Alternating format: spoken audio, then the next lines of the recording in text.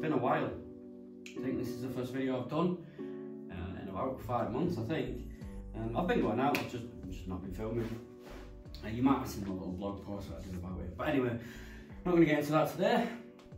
Uh, as the title of the video would suggest, and as you can see, it's going to be a kit list video. Um, I've been dialing my kit, I've been going out trying different things here and there, uh, and I've dialed it in for this year. So this is the, the kit that I'm planning on using for, for 2024 at least.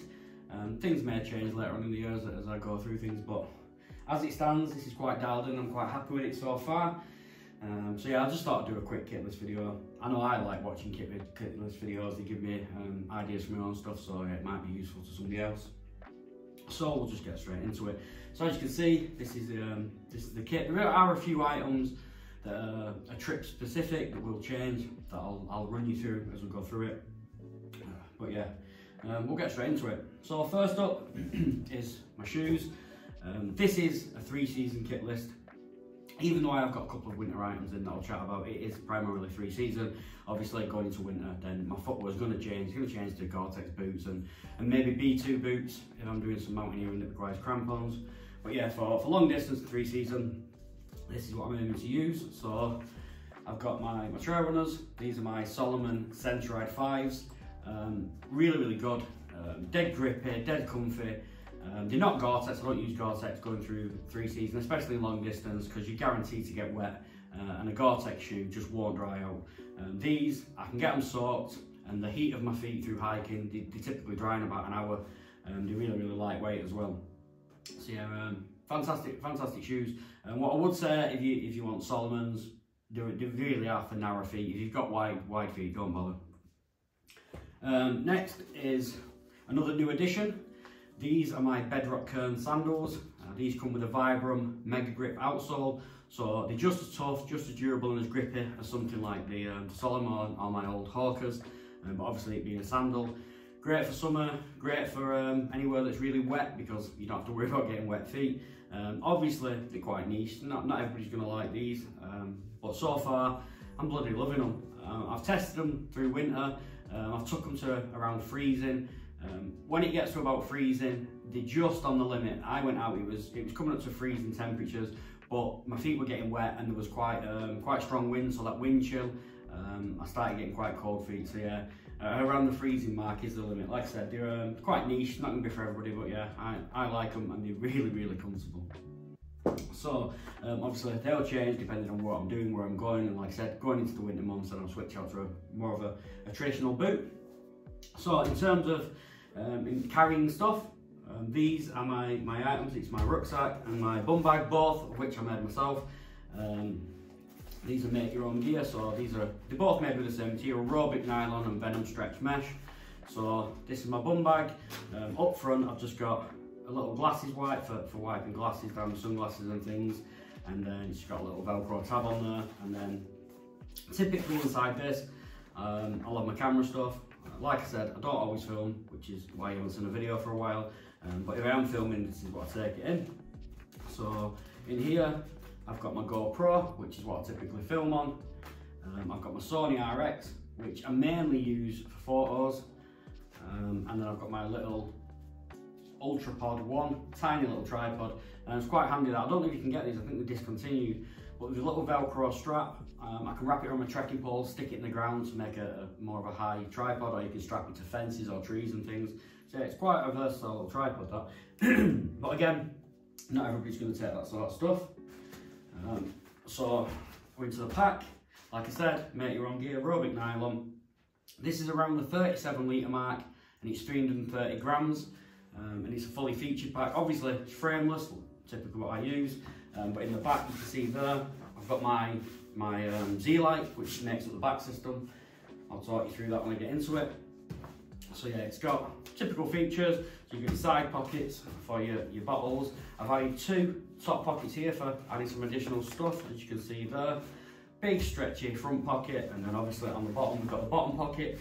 Um, mainly use that for food storage when I'm doing long distance stuff, so I can just access food as and when I want when I'm, when I'm hiking. And then we've got the vest style running strap system. Um, I, I, prefer that to a traditional strap. Um, I just find it much better. And then you get the additional benefits of having nice big pockets on them again for more food storage.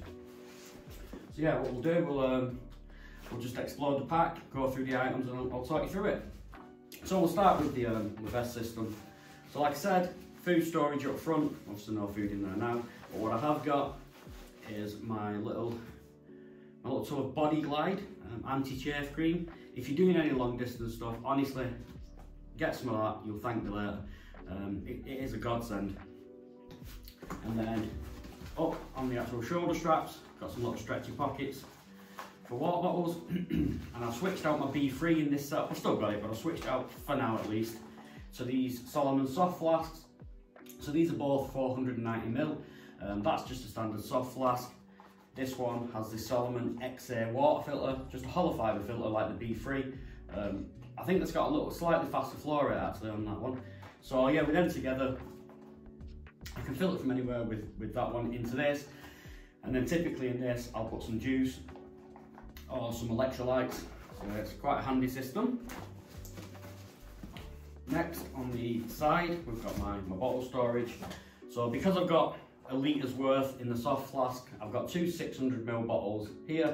So yeah, it takes me over that two litre mark, which is, is plenty for what I normally use. These are just the normal Active pH bottles with the, um, the sports caps. So that's plenty of water storage for what I need. If I was going somewhere that required um, a long water carry, then I've got um, I've got a CNOC bladder, two litre bladder in there as well. I could pair with this to take up to four litres. But yeah, like I said, typically two litres is plenty for me. In my little top pocket here, I've got my little first aid kit slash repair kit. Um, I won't run through this in, in, its entirety, it's a bit pointless. I think first aid kits are quite personal. Um, some people are going to need different things than I will. Some people are going to have more knowledge. Um, for example, if you're a paramedic, you'll have more knowledge than me, so you'll have more useful stuff. Um, but yeah, typical stuff in here, some ibuprofen painkillers, tick twisters, um, some Imodium in case um, I get a, a dicky stomach, um, some super glue, some bungee cord, just little bits of repair stuff, DCF tape and stuff. So um, it keeps me going, keeps my kit going basically. Next, we've got my meths for my stove.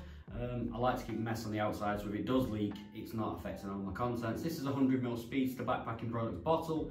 Um, this will typically last me two days. Again, if I was going for longer, I'd take either multiple bottles or a bigger bottle. Um, next up, we've got some smidge. Um, this has got Saltidin in it, which is the same ingredient that um, picaridin has. So I either use this or Sawyer's picaridin, depending what I've got at the time. Both roughly about the same. I found them both to work about the same. But yeah, coming into the summer months, midges, ticks, little shits, you need some um, you need some repellent for them. Next on this side, you can see my trekking brolly. Again, this is a new addition. This this got added when I did the West Highland Way last year. Um, and for me, it was fantastic. This comes in, I think it's just under 200 grams. This is the Gossamer Gear one. I got this off Ultralight Outdoor Gear. Um, bought with my own money, no sponsors, any of that crap. But yeah, it's um, it's a great bit of kit. Like I said on the West Highland Way, the rain was on and off, um, and I didn't have to put waterproofs on, just pop the brolly up, put it back. Um, yeah, it was great, and obviously because you ain't got waterproofs on, you're not sweating. Um, so it's quite pleasurable to use. Obviously, it's not an item for the mountains. If you're going doing a bit of mountaineering or high up, you're probably not going to take that. You're probably just going to use your waterproofs. But for long distance stuff, it's definitely worth a go.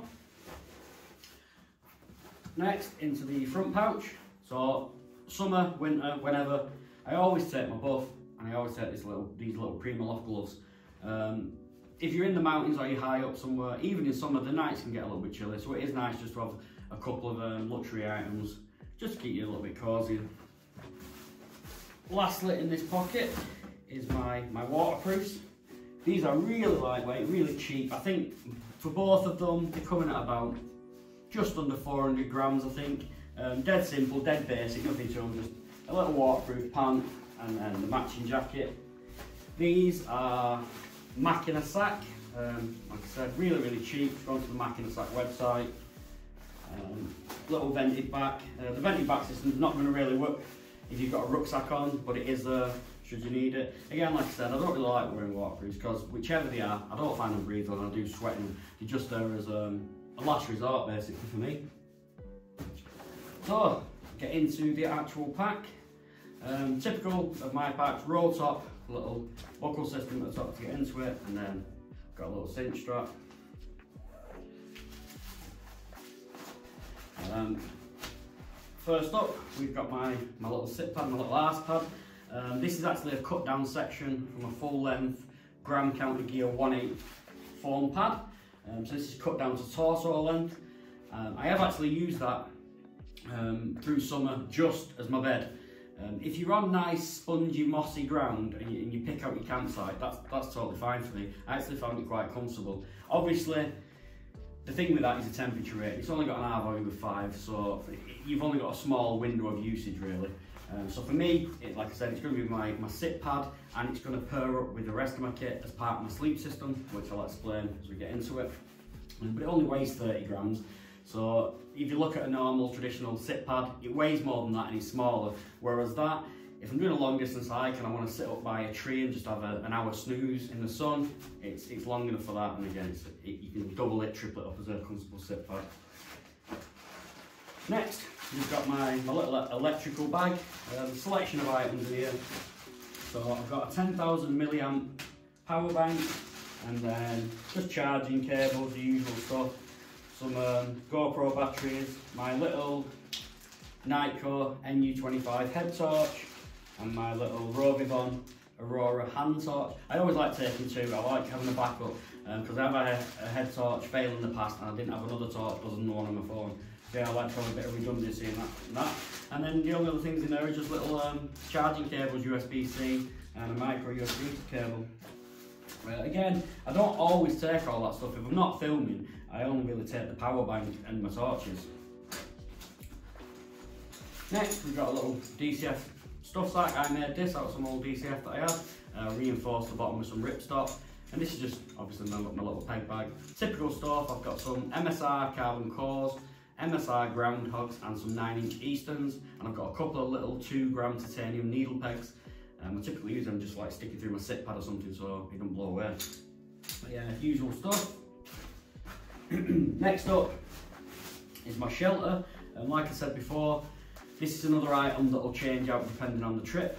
Um, but typically for, for low level, long distance, um, benign summer conditions, this is what I use. This is the Zpacks Plex Solo. Um, it's the 0.51 DCF version. Uh, this comes in on my scales at 386 grams um, which is ridiculously light. You can tell it packs very, very small. I could probably get it to pack smaller than that actually, um, if I rolled it up tighter. Well, I've got no need to. Um, so yeah, that's that's what I, I used on the West Highland way. It was great for that. You've got quite a lot of room in it. Goes up really easy, and like I said, ultra light. Um, but it will be an item that I do change out. Um, if I'm going to change it out, it will be for this. So this is my latest shelter. Um, this is the Mountain Laurel Designs DCF Solo Mid XL. Um, I think the, the outer of the Solo Mid weighs roughly the same as the Plex Solo. Um, so when I do change it out, there'll be a little weight increase because with the outer, I've also got the DCF mesh inner from Mountain Laurel Designs. And again, like I said, this is probably about 300 grams more. So when I use these, the Solo Mid, it's going to be a 300 gram increase weight penalty, but not a great deal.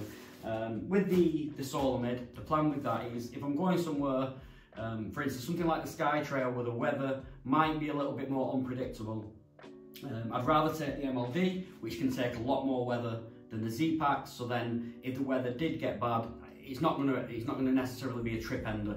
Um, I, I, should be able to ride it through with the MLD. Not only that, this is going to be my new winter shelter.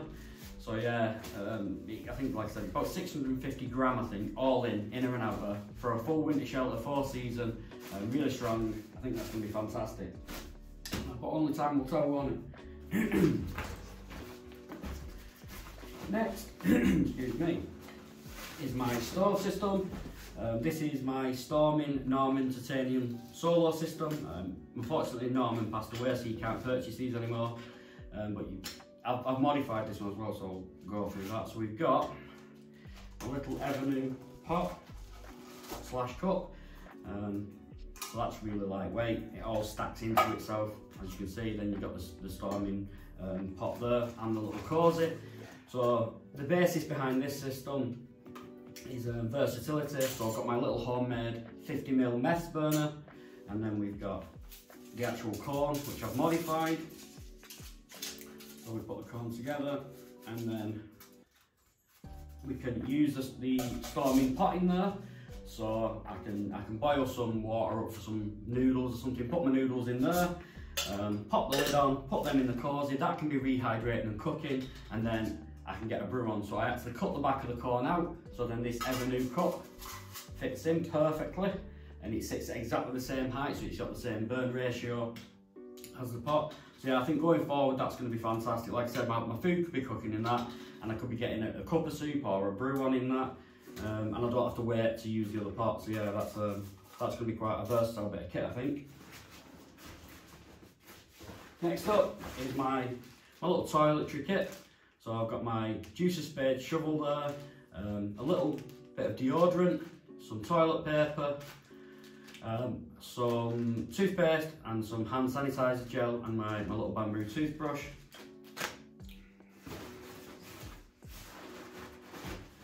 Next we've got a little food bag, so I've not got my food in here, um, that's obviously trip dependent so depends where I'm going. If I'm doing something more long distance like the West Highland way, um, I probably won't be carrying food, I'll probably just resupply when I get to shops and, and get sandwiches and things as I go.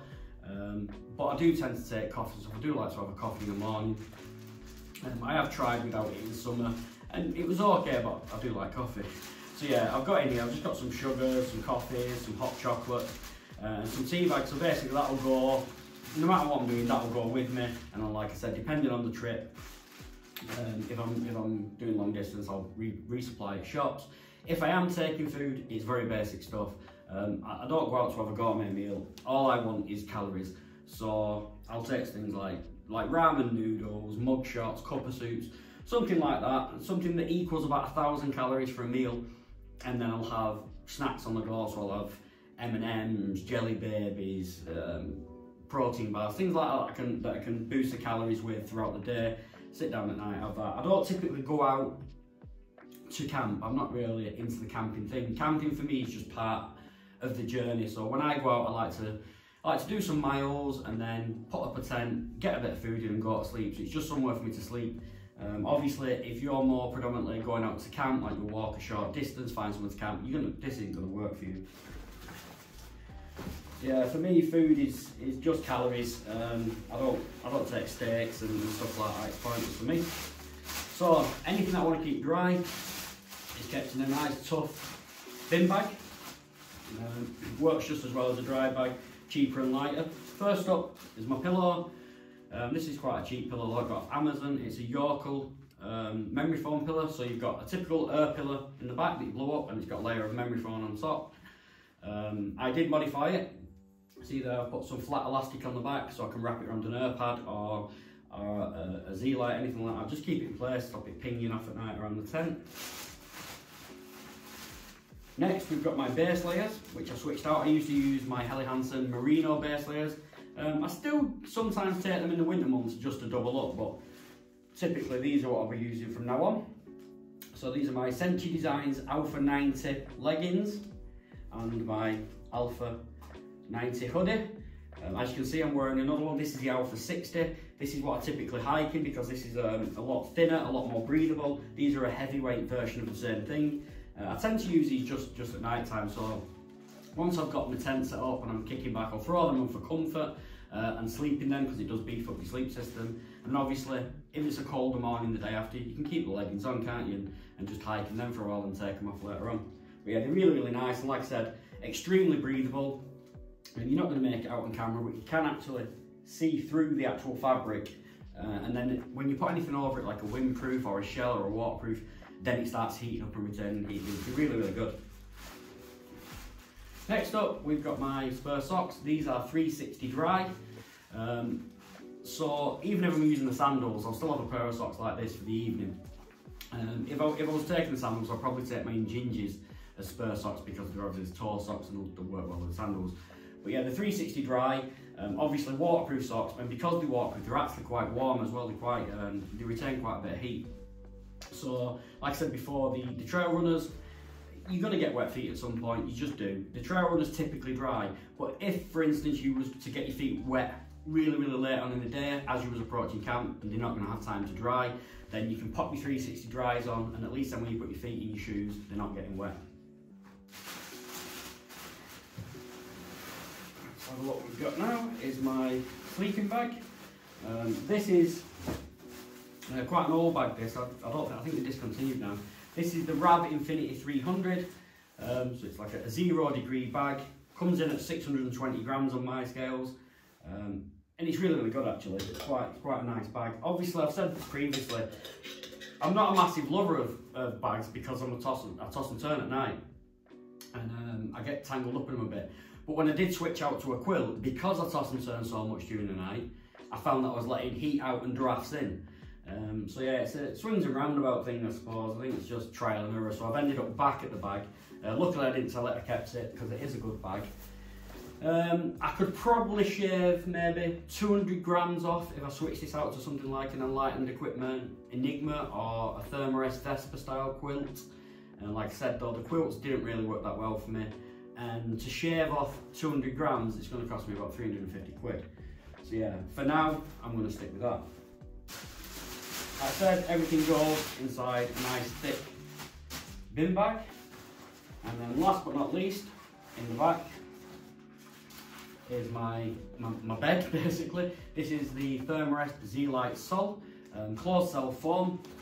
It's actually cut down, it's not a full, it's not a torso one, um, but it's not full length. I cut quite a few panels off it um, to get it down to this length. I think this is about 236 grams, and obviously folded like that, it does fit perfectly in my rucksack, so it makes it packing a little bit easier, because otherwise they are quite bulky.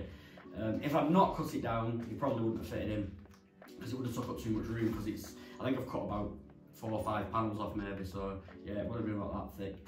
But the plan, and the reason for taking this, is one, I don't really find air, pads comfortable. I've tried loads, Sea to Summit, um, my Thermarest ones, I don't find them comfortable, and I tend to roll off them a lot. Um, this, I do actually find quite comfortable. Obviously, you, you, you've got to be quite selective with your camp. You're not going to go pitch on a rock. Well, I won't pitch on a rock if I had an air pad. So, um, yeah, work out fine for me. Obviously, you can't use it in winter. It's not going to be warm enough. You can you can pair it with an air pad in winter like I've done before. I've used this and my X-Lite and I've used this on my X-Therm. But for for three season use, I think this will work fine for me. Um, might not be for everybody, it's not everybody's cup of tea, but yeah. Uh, the benefit to it for me is it's indestructible, you can't puncture it, so mainly for the long distance stuff, if you're on a long distance hike, you're away for a week, 10 days, two week, and you pop your air pad, then that could end the trip. Whereas this, um, it's not going to pop, so I know I'm going to be fine, I'm going to have somewhere to sleep at night. Uh, and not only that, if you've done a 30 mile day, the last thing I want to do when I'm putting my tent up is have to blow up an air pad. I just want to get my tent up with this, I can just throw it out, my bed's done. Uh, like I said earlier, then I can pair it with this. If I want a little bit more heat, I can place that on top like that, so it'll just boost the heat a little bit. But what I typically use this for is love it in half like that. That'll then go at the foot with my rucksack there, so my body is on the, on the Z-Lite Sol and my feet are on this and my rucksack. So it basically makes a full length bed then, uh, but it's more versatile, so I've got a bed, a sit pad, it's, it's just a little bit more versatility and a bit more redundancy as well. So yeah, that's what I'm planning on using um, going forward for the rest of this year. Obviously, things might change here and there, but I, like I said, for the last four or five months, I've been dialing in this kit and trying things and switching them out and, and putting things back, etc. Uh, and I think now I'm, I'm, at a point where I'm happy with it. I think it, it's very versatile, it's got everything that I need there. Um, the entire loadout, including the camera equipment, the GoPro, the bum bag and so on, everything all in is 4.2 kilos. Um, obviously, that doesn't include food and water, like I said, primarily because it depends where I'm going. If I'm going on a long distance hike where I can resupply, then I'll only ever carry at the maximum a litre of water, usually more like 500 mil, and I'll just keep filling up every time I've emptied that 500 mil. Uh, and then I'll just get food from shops.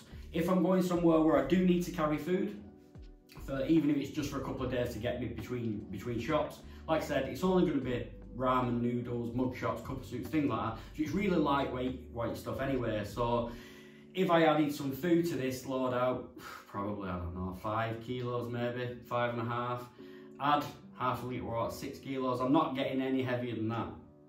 Like I said, that is including everything. I could probably shave off maybe half a kilo if I did switch out the waterproofs to something like the on halos and I switched out the, the bag to another quilt. But like I said, to do so, to switch out both of them items, is probably going to cost me four, 450 quid. So to bring it down by that half a kilo, is it worth it? Um, in my eyes, not at the minute, no, because I've got a, a, decent enough weight there. It's, it's more than manageable. Anyway, I'm just, I'm rambling on now. Um, like I said, kit lists, hopefully um, you found something of use with that. Um, I don't know when I'm going to film again. I probably will be filming stuff in the future, um, but I don't know when and I don't know how often. I'm just from now on going forward. I'm just going to film what I want to film when I want to film it. Um, the long distance things, then I probably will film them because I want to keep them for memories. Um, any overnight stuff, I'm trying to not do overnight stuff going forward. I want to do at least at least two nights. It, it makes it more worthwhile going out. but yeah, we'll see. We'll see when I film anything. Like I said, hopefully you found something useful out of that. Um, I'll see you whenever I film anything again.